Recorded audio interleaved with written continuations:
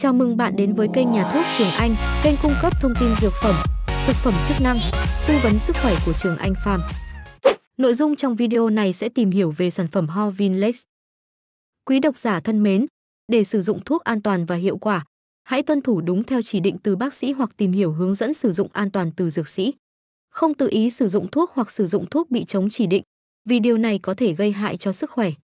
Nếu như bạn quan tâm tới thông tin về Horvinlex cũng như cách sử dụng sản phẩm, thì hãy theo dõi hết video mà Trường Anh pham chia sẻ dưới đây. Thành phần. Thiamin nitro Pyridoxine hydrochloride Cyanocobalamin Dạng bào chế. Viên nén bao phim. Công dụng. Hỗ trợ điều trị viêm dây thần kinh do rượu, tiểu đường hoặc độc hại, đau dây thần kinh có nguồn gốc khác nhau và thoái hóa thần kinh ngoại biên. Chỉ sử dụng thuốc trong các trường hợp nhẹ hơn.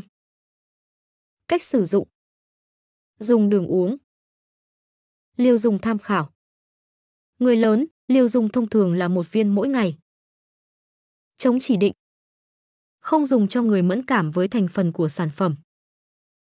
Lưu ý, thận trọng khi sử dụng. Hãy luôn nhớ là cần phải đọc kỹ hướng dẫn sử dụng kèm theo sản phẩm. Thuốc có thể hiệu quả nhanh hay chậm còn tùy thuộc vào cơ thể, cơ địa của từng người.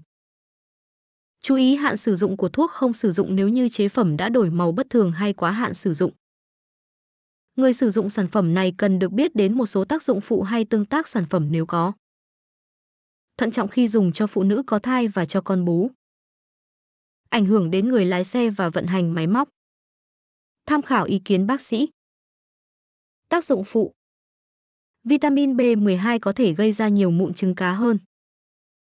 Khi điều trị bằng Horvinlex, bệnh nhân có thể mắc các chứng thần kinh cảm giác ngoại biên khi sử dụng liều cao vitamin B6 trong hơn 5 tháng. Thông báo cho bác sĩ những tác dụng không mong muốn gặp phải khi sử dụng. Nhà sản xuất Thế Phaco Hy vọng, qua những chia sẻ trong video này của Trường Anh Farm sẽ giúp quý bạn đọc hiểu rõ hơn về sản phẩm Horvinlex, đồng thời biết cách sử dụng Horvinlex sao cho đúng và hiệu quả. Nếu có thắc mắc khác, hãy liên hệ tới bác sĩ điều trị để được tư vấn kỹ hơn nhé.